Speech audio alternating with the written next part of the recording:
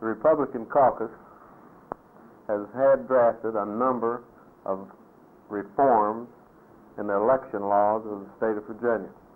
We hope to present these periodically in the next two weeks, and these will deal with absentee voters, the purging of the books of the vo- voters' books of the different counties, and a, a number of election law reforms. We feel that there is a great injustice being perpetrated upon the people with the present laws that we have and the way they are administered in the different localities.